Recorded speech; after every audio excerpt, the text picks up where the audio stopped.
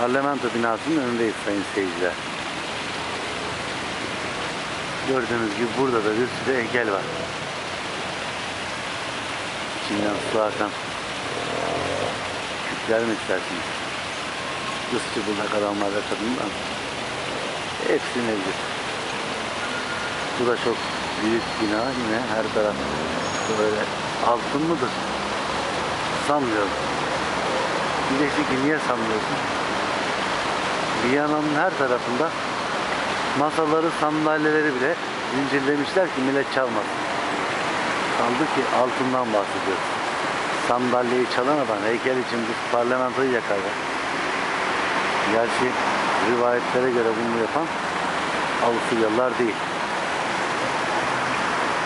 Hakikaten biz de 8-10 sene önce geldiğimizde böyle şeyler görmüyorduk.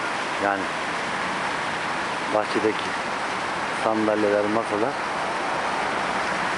zincirlenmiyor. Şimdi ne yapılıyor diye sorduk. Dediler ki Avrupa Birliği'ne önüne gelen girince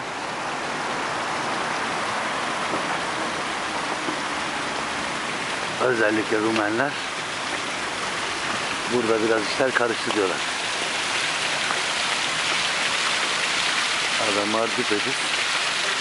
Rumenler bizi Pakistanlılar, Rumenler bize hırsızlığı öğretti falan diyorlar. Pakistan Avrupa Birliği'ne girme söz değil ama Pakistanlılar, Hindistanlılar buraya bir şekilde girmişler. Böyle de bir durum söz konusu. Adamın işi gücü görkem abi. Görkem, heybet. Her taraf heykel dolu. Hani adamın yeter ya diyesi geliyor.